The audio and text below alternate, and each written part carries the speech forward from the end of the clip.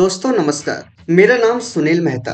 आज के ट्यूटोरियल में मैं आपको ये बताऊँगा पपेट वॉप टूल और साथ ही साथ एक सब्जेक्ट का हेयर सिलेक्शन कैसे करते हैं, वो सारी चीज़ें इस वीडियो में आज हम देखेंगे।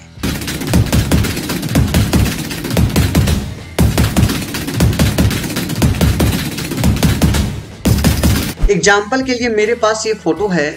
जब भी हम बच्चे का फोटोशूट करते हैं, उसमें एक चीज़ दिक्कत ये आती है, वो कभी गर्दन को बायां करता है, कभी दहना करता है, कभी झुका देता है, कुछ भी करता है। तो हम क्या करेंगे, उस फ़ोटो को कैसे ठीक कर सकते हैं?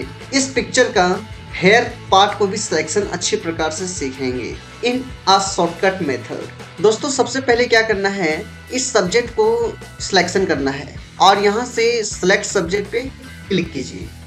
एक बेसिक सिलेक्शन आपके पास आ जाती है। यहाँ सिलेक्ट एंड मास्क का ऑप्शन है, इस पर क्लिक कर दीजिए। यहाँ पे एक टूल दिया हुआ है रिफाइन एज ब्रश टूल कुछ नहीं करना है जूम कीजिए और यहाँ से हेयर पार्ट को ऐसे एक दो बार चला दीजिए।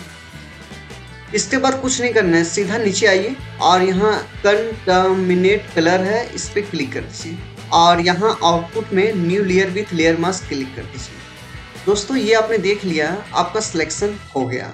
एक काम कीजिए, यहाँ से पीछे में बैकग्राउंड कलर लेके आप चेक कीजिए।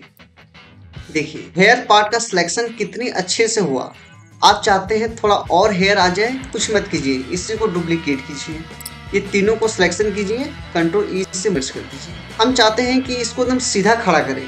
आप करना क्या है एडिट में जाइए। यहाँ एक टूल है दोस्तों, ध्यान दीजिए पपेट वॉप टूल इस पर क्लिक कर दीजिए। हम चाहते हैं यहाँ तक पोजिशन ठीक है, इसके ऊपर का पोजीशन चाहते हैं तो सीधा हो जाए। जूम कीजिए, मैं जूम करके दिखाता हूँ। और यहाँ से ऐसे पकड़ के सीधा कि बस इसको ऐसे कर दीजिए।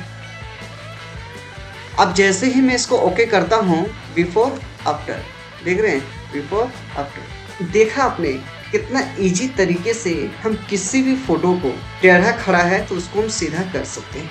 उम्मीद करते हैं आज के वीडियो आपको समझ आया। इस टूल का यूज़ कीजिए और अपने स्किल्स को बढ़ाते रहिए।